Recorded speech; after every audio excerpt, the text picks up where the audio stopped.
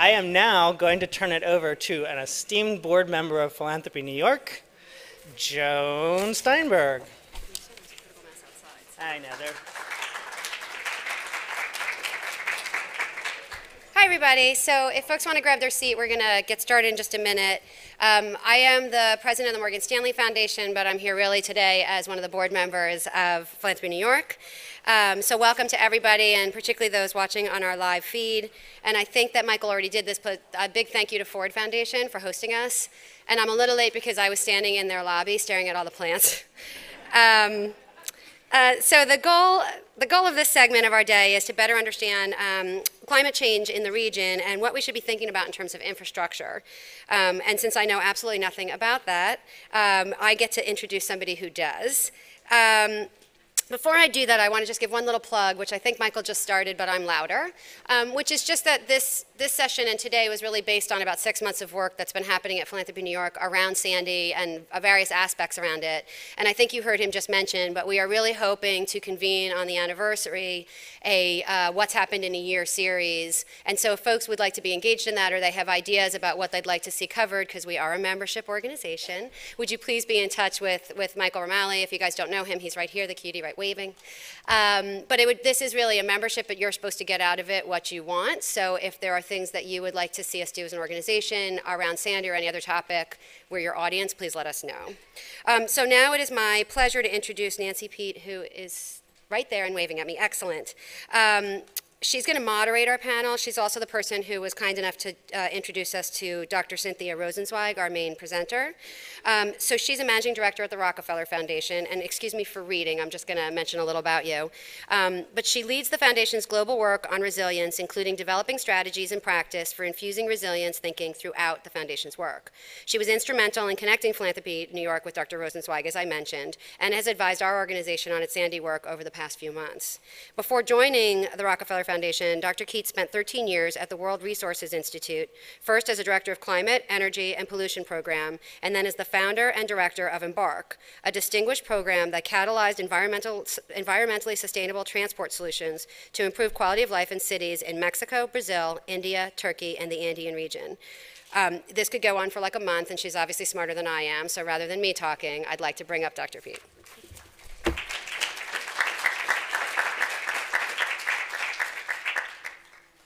Thank you, Joan. That was very kind. And I want to also thank Michael and uh, Philanthropy New York for organizing us all here to talk about Sandy and post-Sandy and what we'll all do over the next, think about, help us think about what we'll all do over the coming years to help rebuild the New York, New Jersey region resiliently. And um, extend my thanks to the Ford Foundation for hosting us all here today. Uh, but I am especially pleased to moderate this panel and to present to you Dr. Cynthia Rosenzweig. And for those of you who don't know her, she's actually a national treasure. She's been one of the principal authors in the Intergovernmental Panel on Climate Change. She's based at Columbia University and um, uh, the NASA Goddard Institute for Space Studies, where she heads the Climate Impacts Group.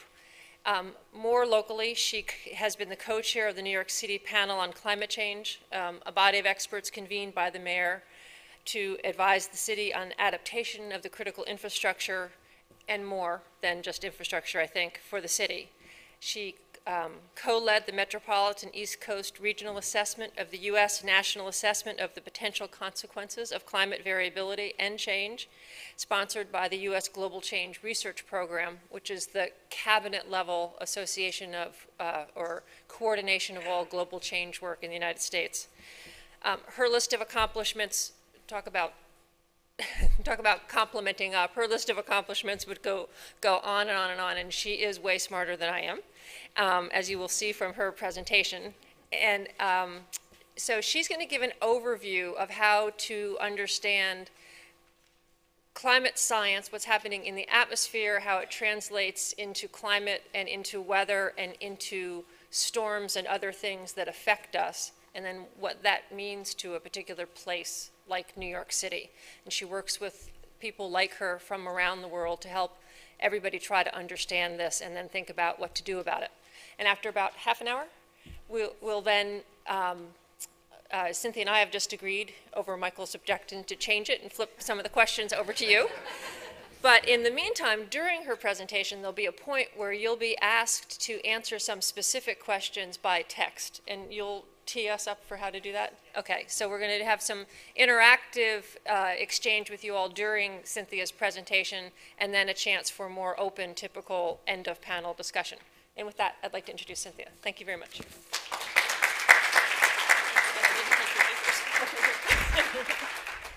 Thank you, Nancy, and thank you to Philanthropy New York for inviting me to uh, make this presentation and to share with you some lessons learned and way forward.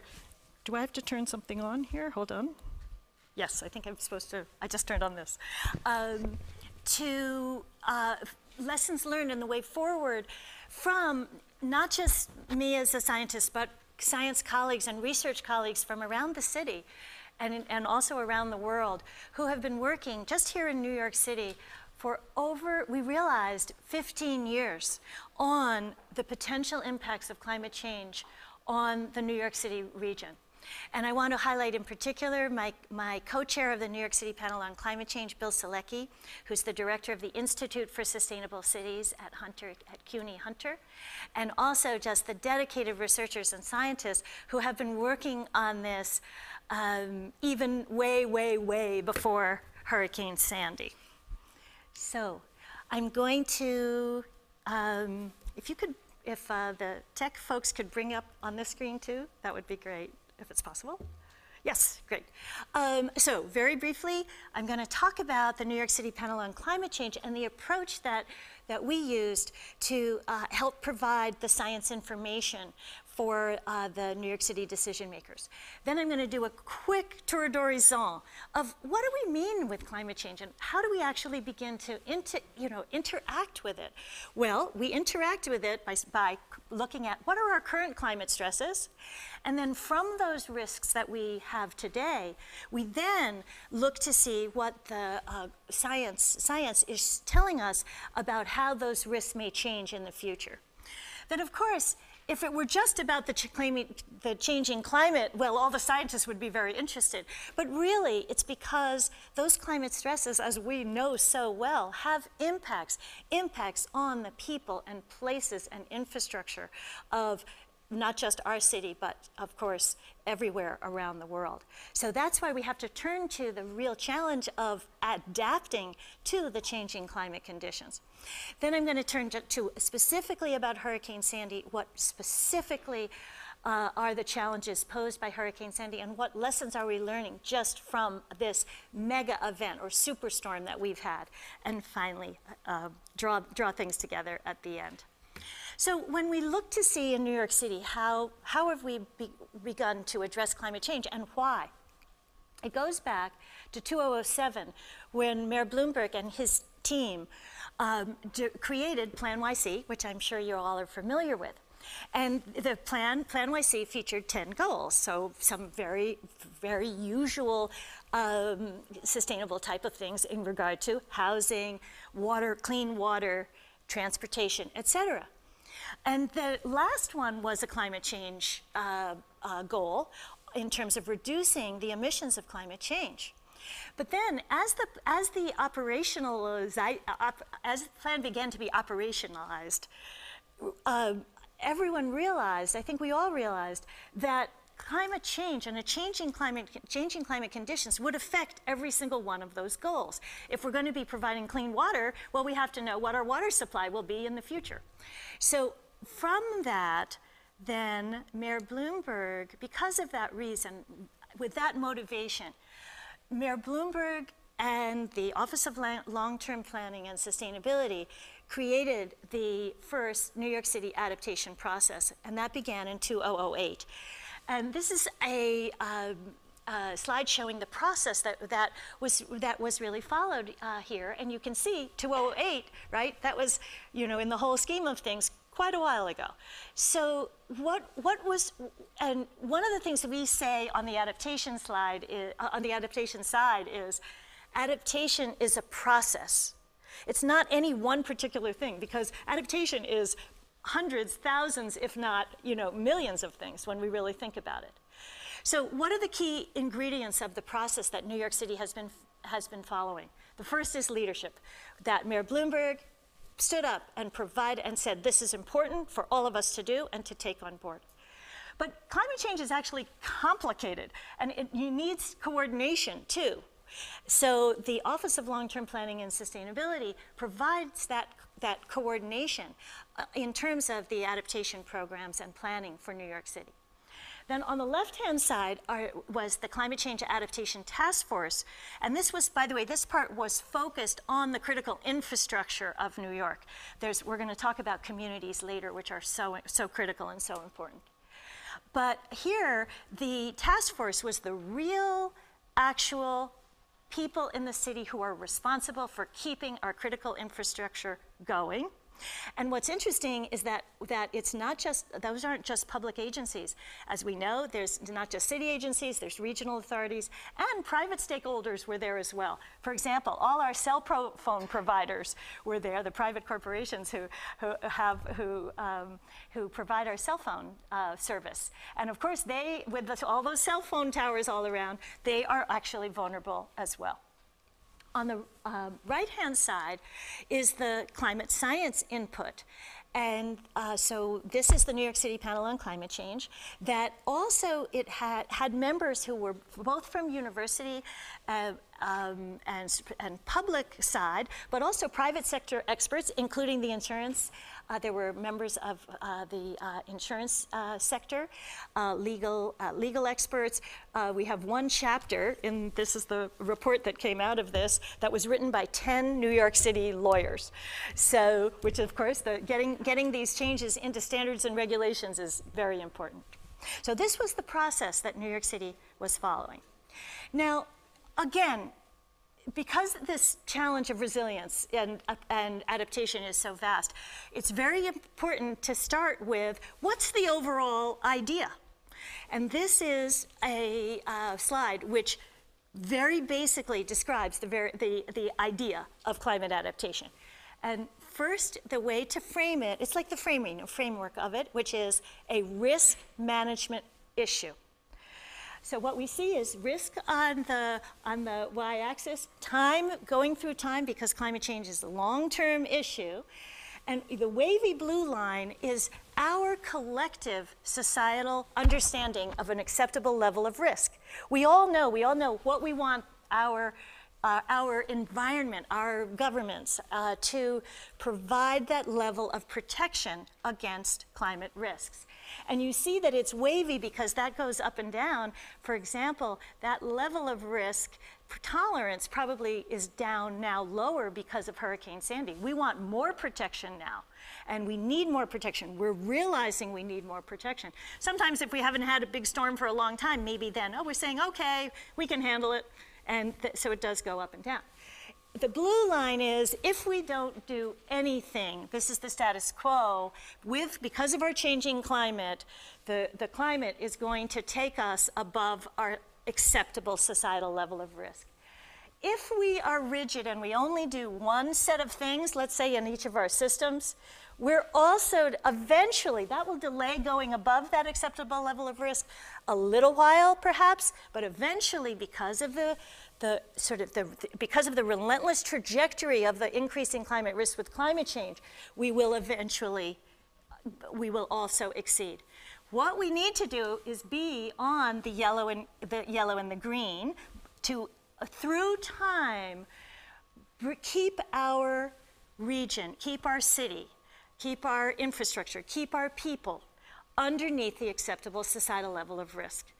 And this is going to take what we called there flexible in the NPCC, flexible adaptation pathways. So we have to make decisions not once and for all, but we have to take decisions, take actions, and then we have to monitor and reassess them to see as we go into the future.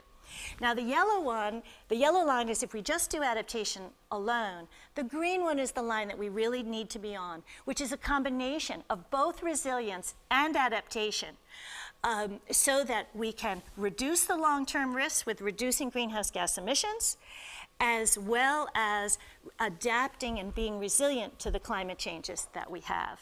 So that's the overall framing. Now, I mentioned the foundation report.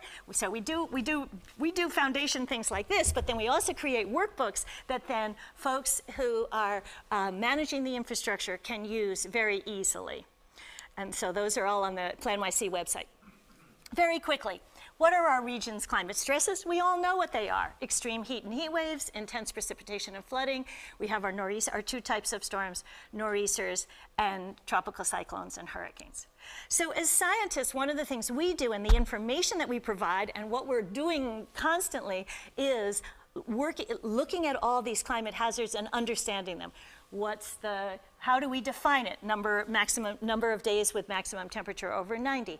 What are recent examples and how well did we respond, let's say here to July in 2011 when we experienced two and a half times more days above 90 degrees Fahrenheit than in our entire history since 1870.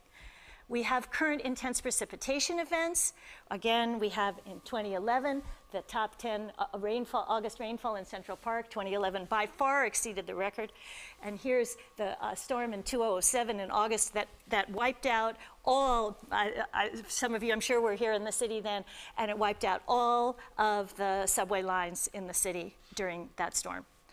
On the nor'easter side, we have the back-to-back-to-back storm of 2011 um, which are very important and scientifically actually very hard to, to uh, really see what may happen to nor'easters uh, into the future. And then, of course, we have our hurricanes, which bring coastal flooding, storm surge, all the things we know about. And you know, Sandy, we have, we, of course, that's the one in our minds right now, but remember back, even just in August 2011, Hurricane Irene and the damage that it it, caused, not just in our region, but actually uh, inland, in upstate New York and Vermont. Okay, how do we how do we create the knowledge that can be operationalized for the decision makers and the communities here in the city? So what we do is we take global climate scenarios, we combine them with local climate change information, and the first step is to see what are those risk factors that we need to work on when we, the, the, the, graph on the left is the different projections of greenhouse gas emissions because we don't know what our global decision makers will take in terms of um, uh, reducing the, the greenhouse gas emissions around the world. And then we create scenarios looking at first what's happened in terms of this is temperature for um, uh, in, over the past 100 years, and then the projections into the future. So this is a base of knowledge that can be used as we plan for the recovery of Hurricane Sandy because this um, information is in place.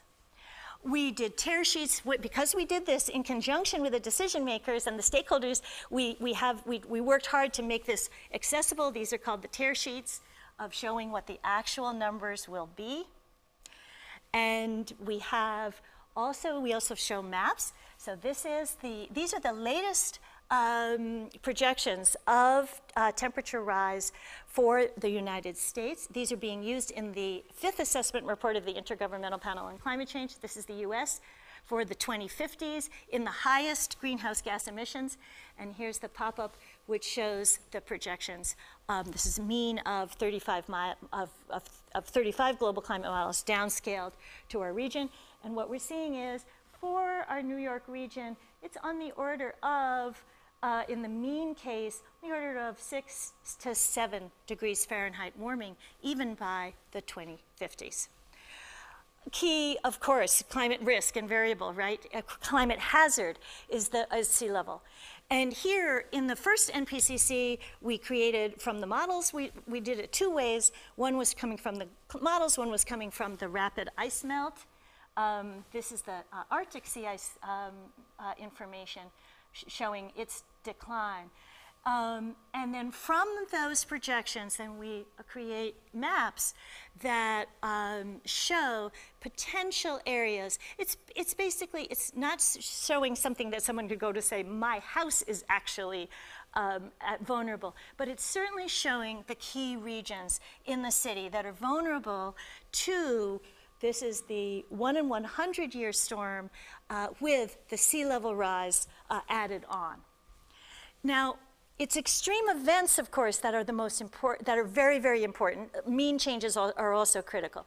But extreme events are the ones that we relate to.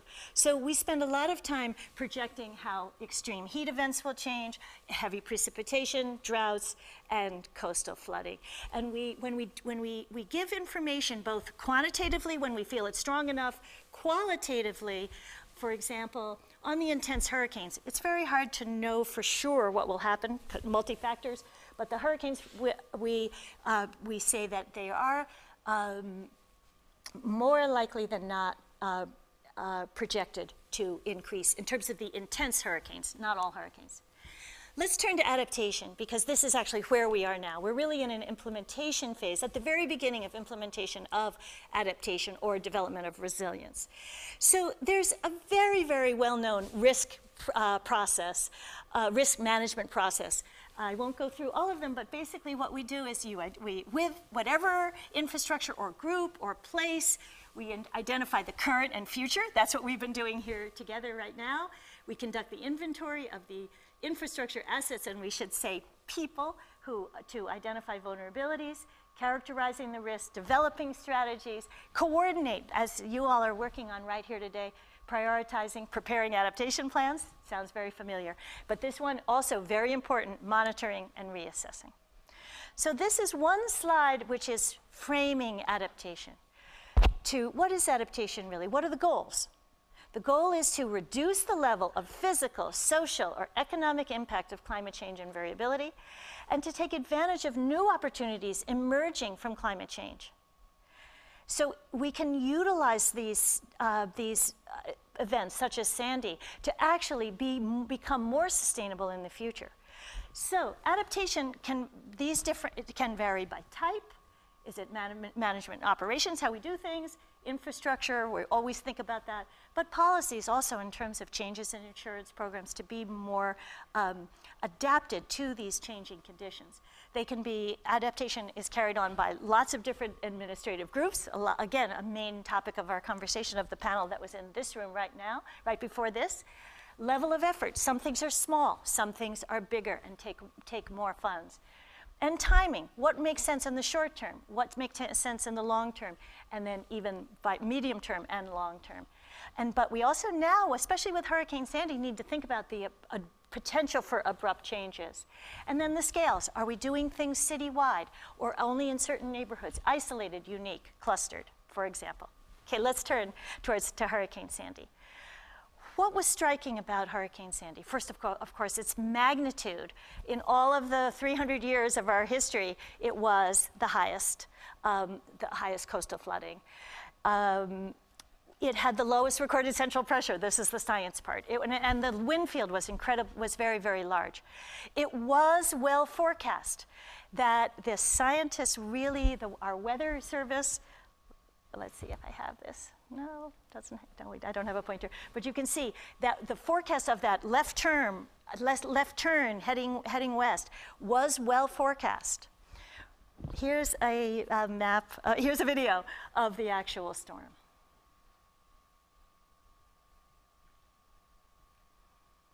It's coming. It is. That's still.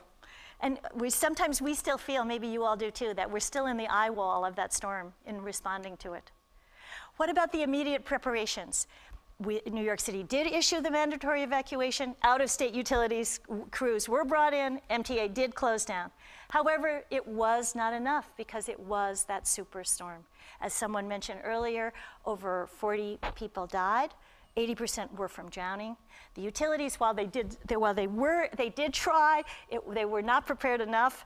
It's not only it's four million across the whole region, and of course we know the breakdowns in the uh, MTA.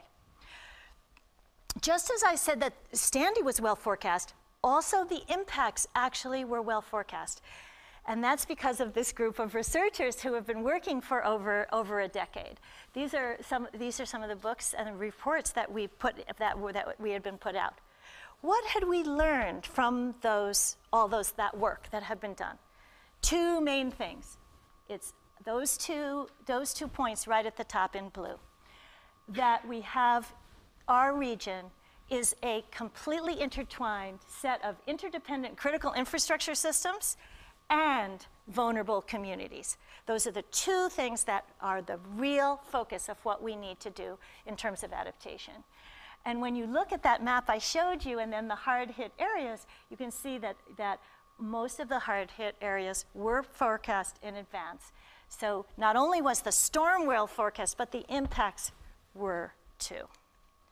This is the percent of population below poverty. This is building out to our Rockaway. These were three case studies in, uh, that were in the very, very first, which was published in 2001, Rockaway Peninsula, Coney Island, Lower Manhattan, and showing that many of the hardest hit areas are with, as you all know, in our, um, in our most vulnerable communities um, in terms of poverty.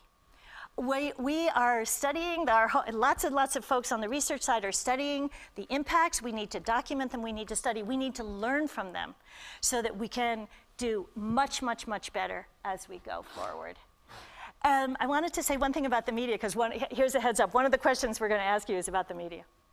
So after, during, during and after, and still, um, we researchers were, we did a tremendous amount of media, over 100 interviews, it's probably way more than that now.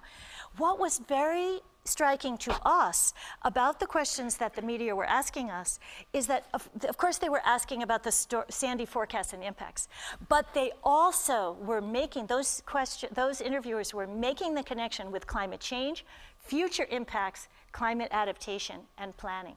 And that seemed to be real progress here.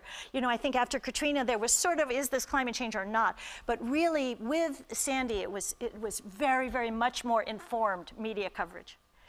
Now, just to, just to come to the end, another, one question that we were asked in the media a lot was, wasn't, had New York been doing anything? So the answer is yes. And these are some of the things New York had been doing. Green streets, um, getting much better LIDAR, uh, sea level rise into the waterfront plan, uh, emergency response and preparedness. That evacuation plan was in place because of the preparations. But after Sandy, of course, as we all know, this is absolutely intensifying.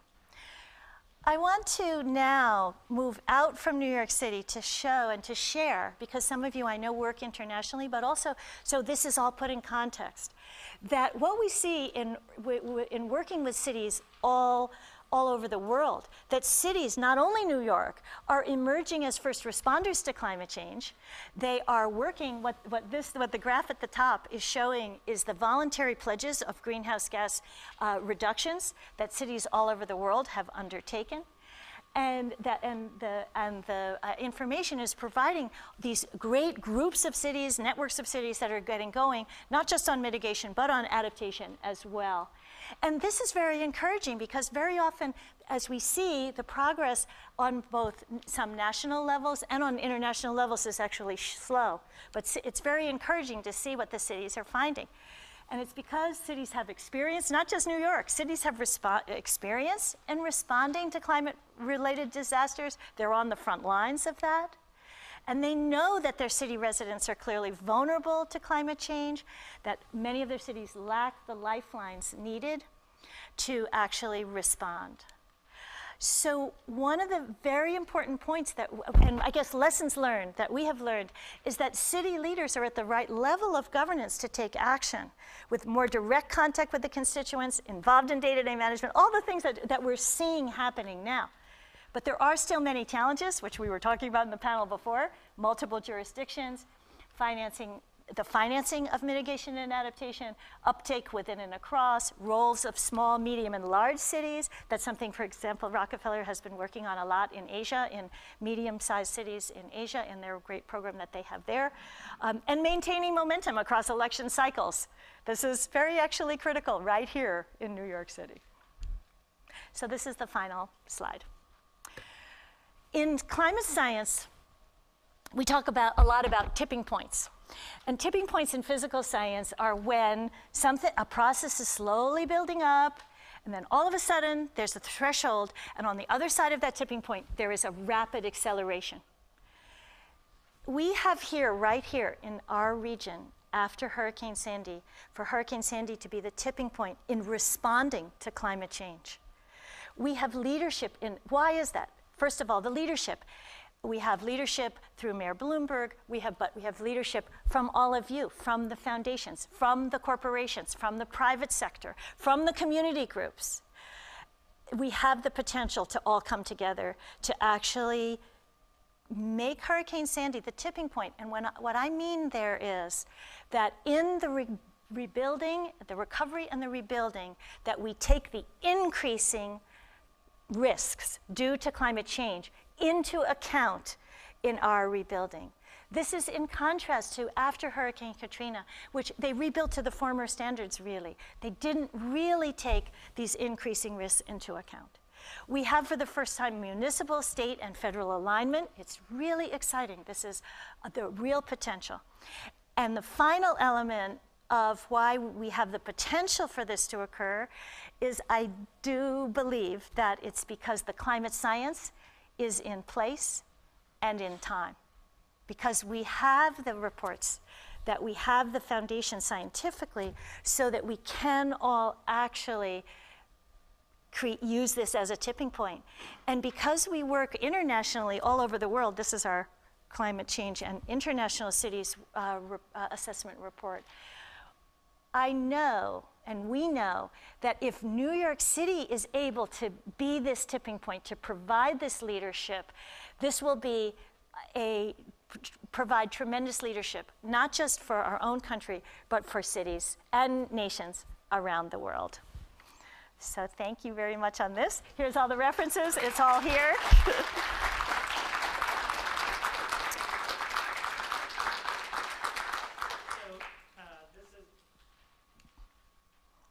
This is intended to be a, a bit of an interactive discussion, uh, and uh, uh, Dr. Rosenzweig has some questions of the audience, which uh, I handed out a little handout that will help you text message. So it's really simple. What she's going to ask a few, ask you a few questions, and I actually. Uh,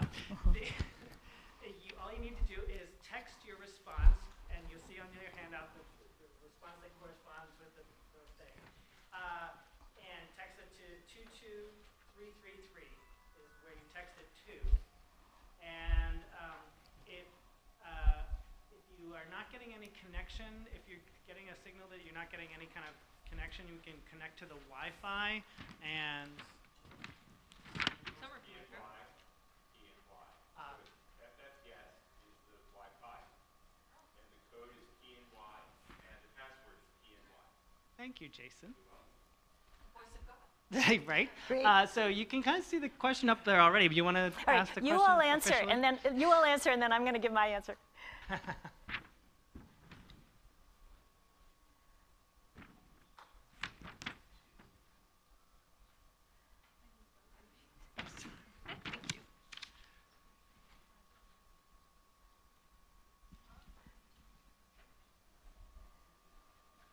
Has every Oh yeah. So, are we ready? Yes, I think so. Okay, all right, very good. So we have extended flooding was was the uh, really by far the the biggest surprise for all of you, um, and then I think a lot said all of the above, which is also I think very important. Um, my answer is none of the above, because all of these things were in our reports from 2001. But I'm going to tell you what, we, what was surprising to us the fires in Breezy Point, the gasoline shortages, and the hospital evacuations. We didn't realize that those things were, more, was, were so critical.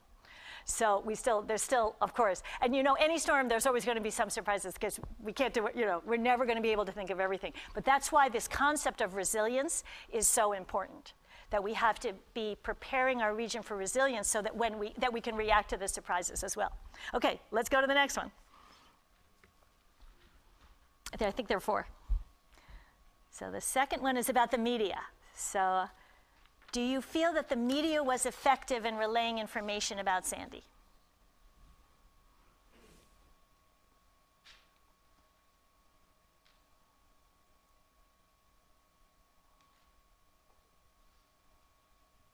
Great. Okay, fantastic. This is great. It's so instantaneous. All right. So actually, I, this is quite amazing. It's too bad we don't have some media colleagues here whom we, you know, work with all, all very much a lot.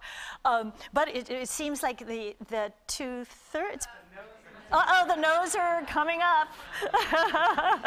All right. Well, in the break, we're going to have to hear why, why, why you think why it wasn't effective. I just wanted to say the one thing that I just reiterate what I said is that I felt that there was, I think, serious coverage about the, the part that, that I that we work on. There was serious co- coverage about the linkages to climate change and very informed coverage on that. So I would have put yes. Um, but it's, uh, but, but, I'm interested in hearing why, why, you know, in the break, why you thought no. Okay, let's go to the next one.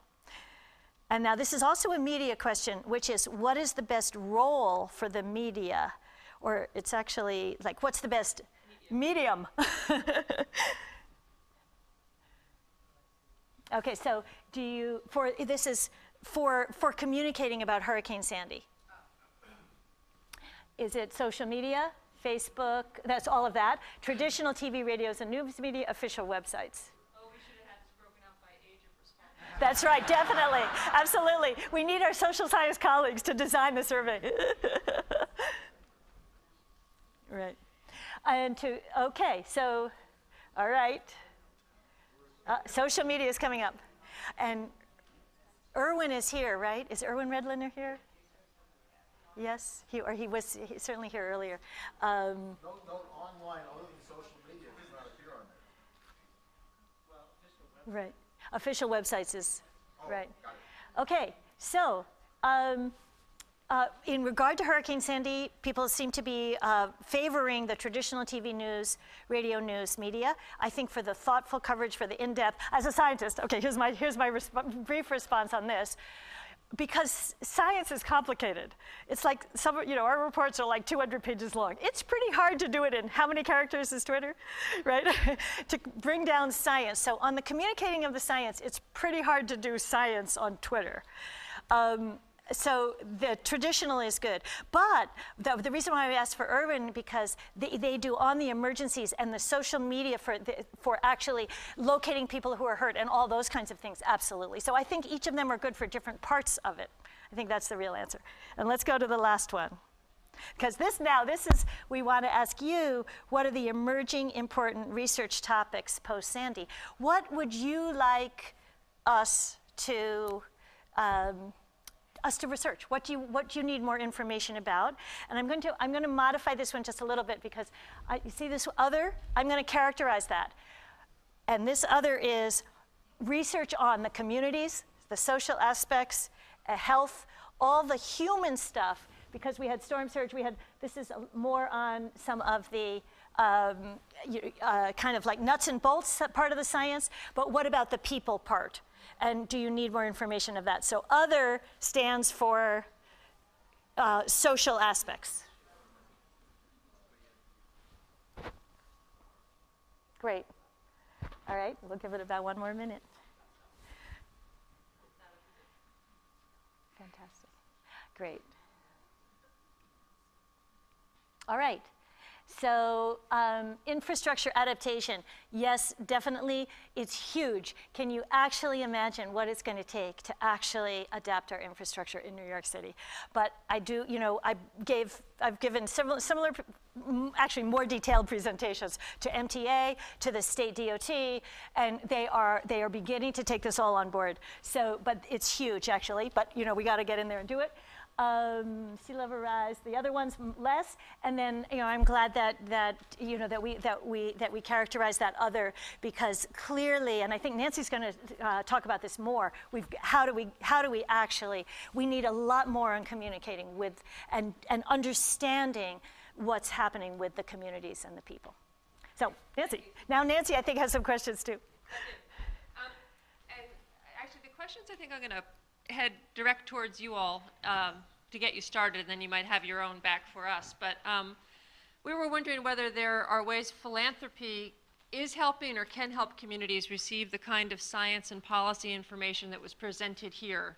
And, and then who would be the right messengers? And what's the right message frame for communities, particularly, you know, outs I don't think there's any city in the world um, there's certainly no other city in the U.S. that I know of, except maybe San Francisco, that has an, um, a climate change panel for New York City. I think the Rockefeller Foundation supported that Yes, panel the first they round. did. Yes, thank you very Um, much. And, and so, you know, what, how do we, how do other communities of smaller sizes get this kind of information if you think it's important that they have this information?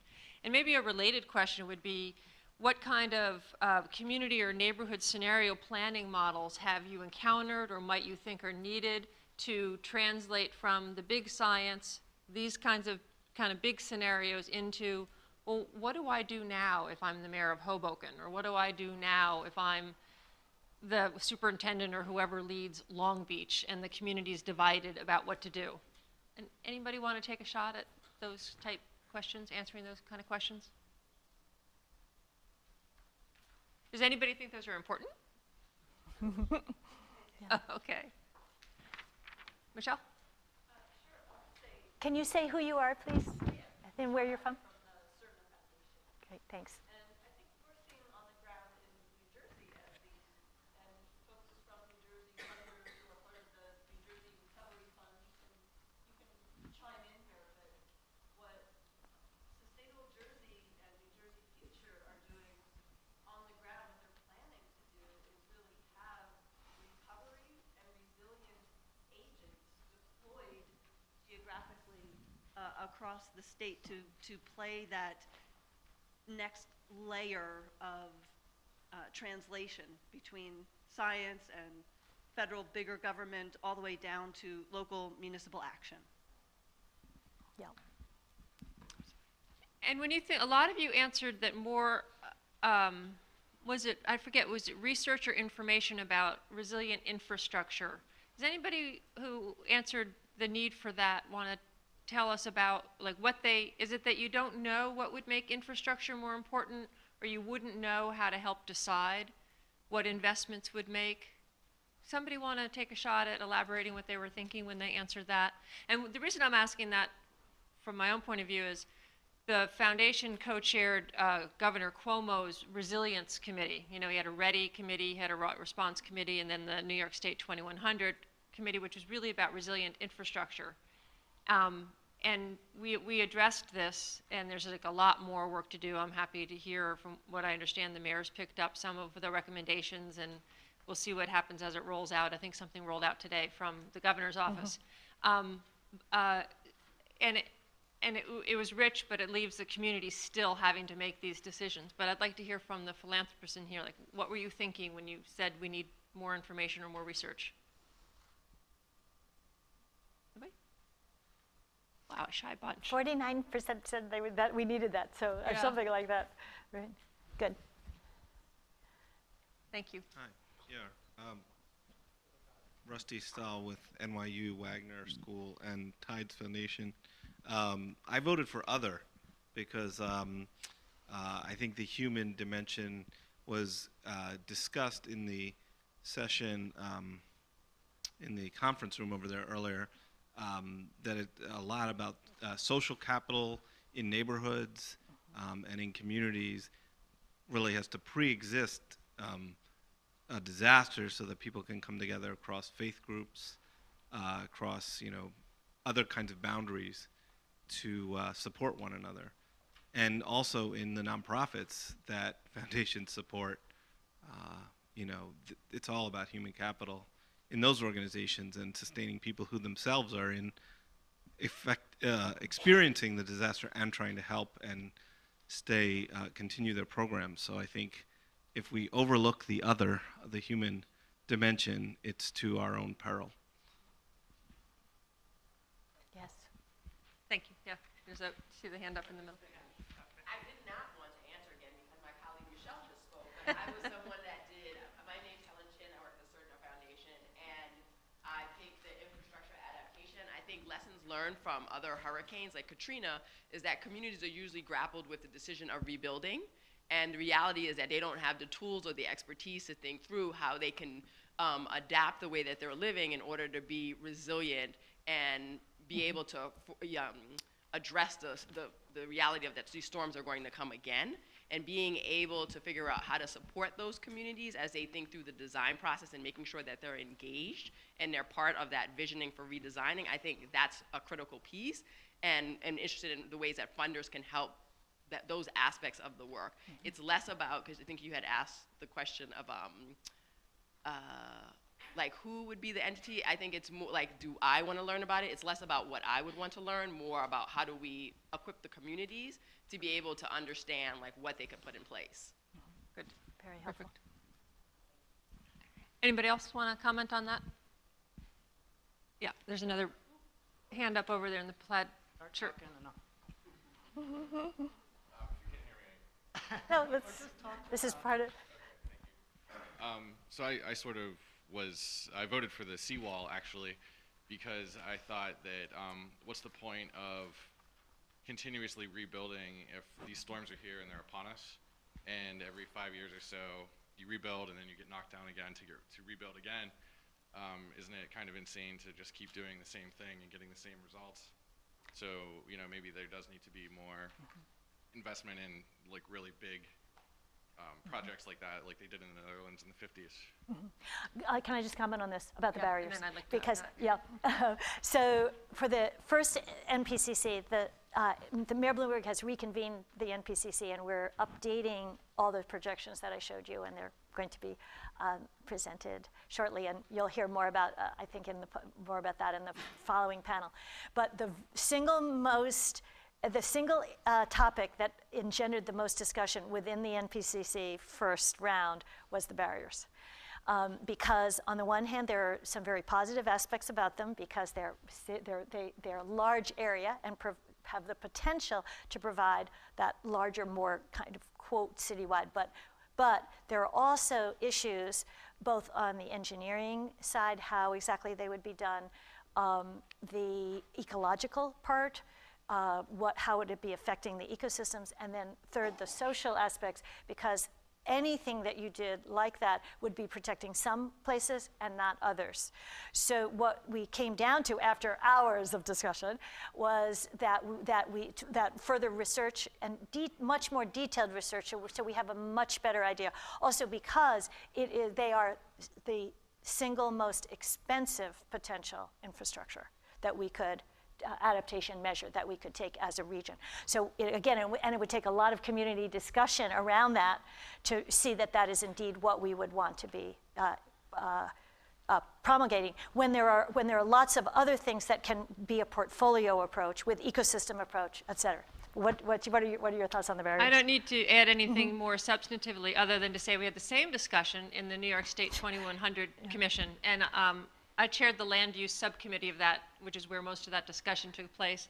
And we came out the same place that the New York City panel did, but we also took it a step further and said, you know, by preference, the the, the city and the state ought to focus on the natural, the green and the natural infrastructure solutions first, because you can, there are some really good designs for New York City, and we can start to build out on top of those and move those into feasibility studies. And in any case, you would do those first. These things would um, roughen up the bottom, slow the incoming tide, uh, delay or retard some of the um, some of the incoming storm effect. But then they would also have salutary effects for the city as a whole, even when a big event wasn't happening. So there were there are lots of things you would do long before you would spend money even doing an in-depth study of large storm surge barriers. And so that was where the 2100 report came out after probably the same kind of discussion that Cynthia's um, group had. Um, I wanted to ask if there are regional funders in here who are trying to connect various parts of the post-Sandy efforts, like housing and environment and, and economic um, resilience. And if you wanted to talk about what kind of like data or knowledge or tools you could use that either haven't been talked about or have been touched on and moved off qu- too quickly, or you want to pull that together in a, in a way that you've heard about through the course of today. Yeah, please. Um, so I just want to echo uh, Rusty and say I think what has always been great about your work, Cynthia, is the social dimension of this. You know, you told this 15 years ago, and I was at a board meeting in uh, February, and one of our board members fessed up, it's a new board member, and said I was at the original Earth Day, and there was a presentation that said New Orleans and New York were the two places that were going to get slammed in the age of climate change.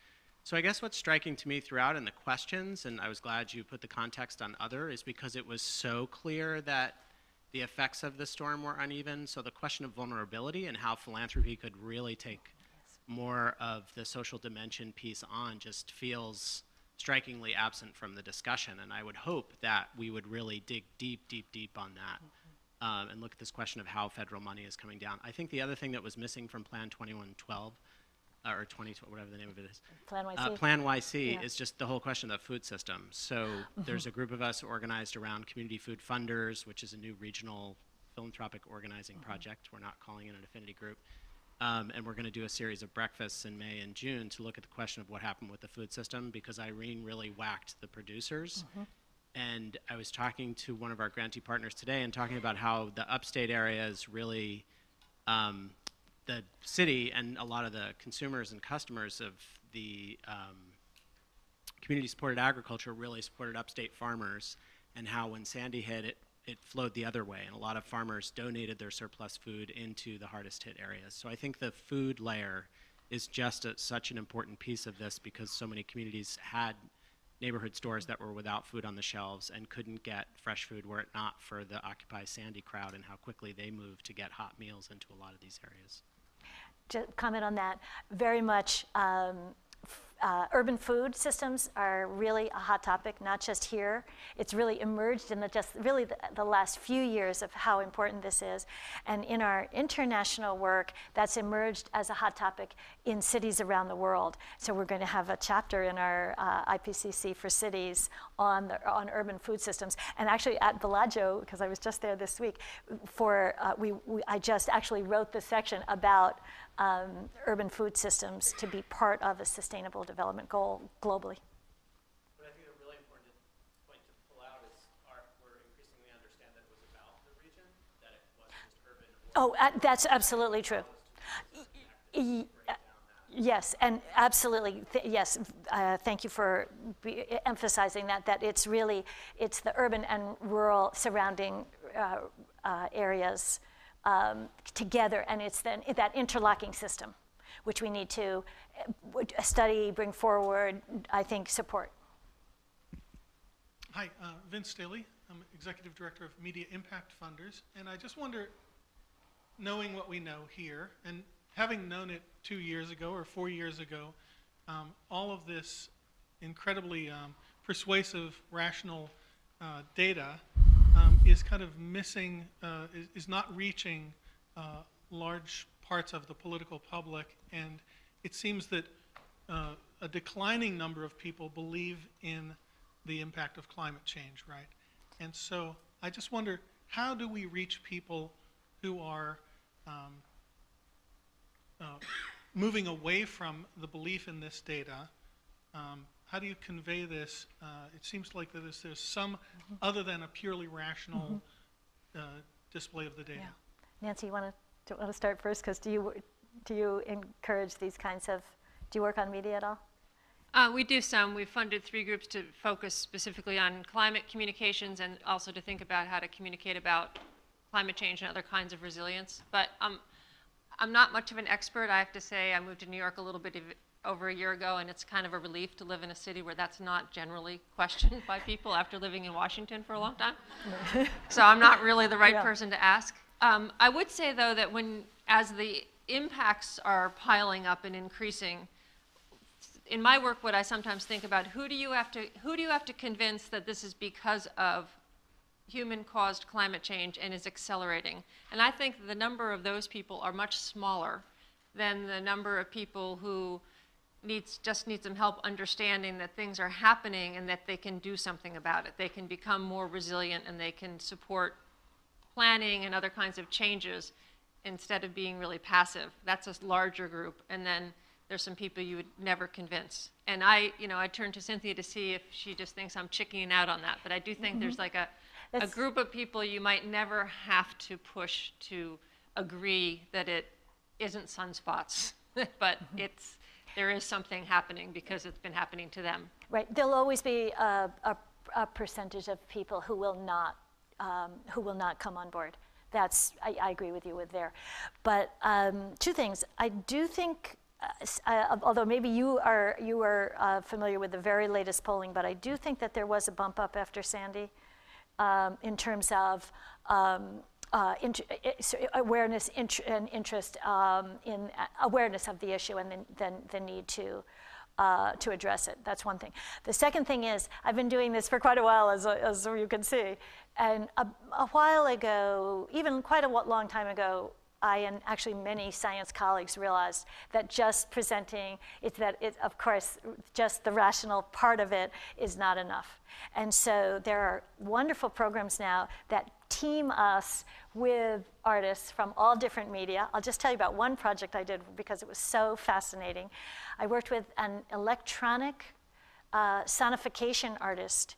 We gave her the model output from our global climate model, which we're always looking at graphs. I've just showed you all the graphs, right? And she associated electronic sounds to each of the climate variables.